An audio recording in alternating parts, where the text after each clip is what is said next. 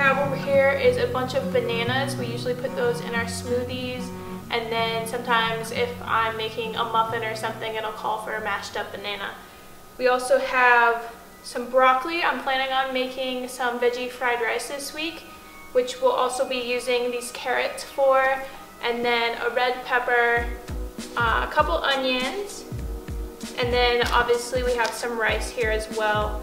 I picked up some potatoes because I think we're going to be having baked potatoes this week as well. Uh, got a big bunch of tomatoes.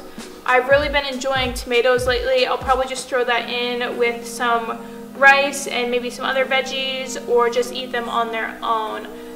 We've also really been enjoying mushrooms. We picked up two packages of mushrooms to saute up, maybe add to the tomatoes.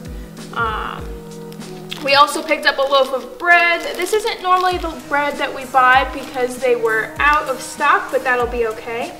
Uh, we picked up another jar of peanut butter. This is my absolute favorite peanut butter. If you guys haven't tried it, you should go ahead and check it out. Sean isn't a big fan of it, but I really enjoy it. Then we picked up four cans of black beans. We eat beans quite a bit. We have a pretty big stock of chickpeas right now, so we didn't need any of those, but we did decide to stock up some, on some black beans.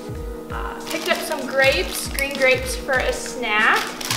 Uh, we've got two things of almond milk. We use almond milk for all of our smoothies, and then if there's any recipe that calls for milk, we use this.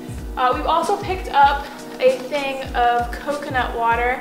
We have never had coconut water. I think I might have tried it once and I didn't really like it. And it's been a while, so we thought we would try it and see if we like it now.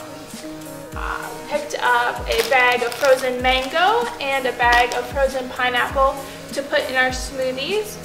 And then we also got a bunch of mixed frozen vegetables to use in stir fry. And the last few things we have are some medjool dates.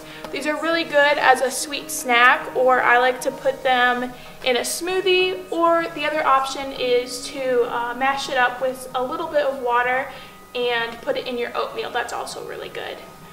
We also have two oranges and then three apples down there either to put in a smoothie or just eat as a snack.